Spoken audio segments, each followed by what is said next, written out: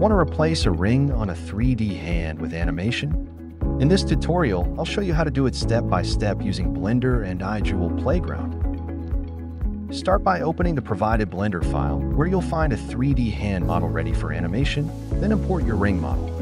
Use the Move, Scale, and Rotate tools to fit the ring perfectly on the finger. The hand file already contains an empty object with animation on the ring finger. Simply select your ring, then shift-click the empty object and press Ctrl plus P to set it as the parent. Now, your ring follows the animation.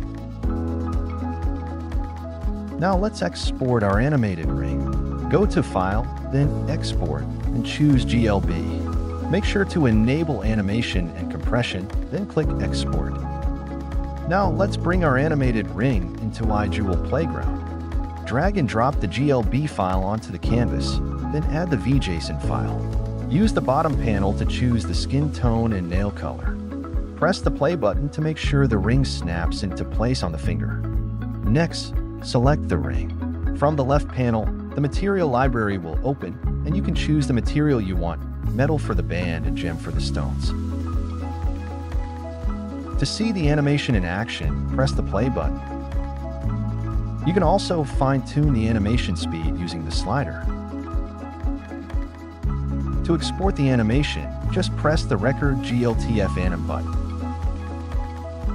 And here's our final result. Now you know how to replace and animate a ring model in Blender, export it to iJewel Playground, and create a smooth animated video.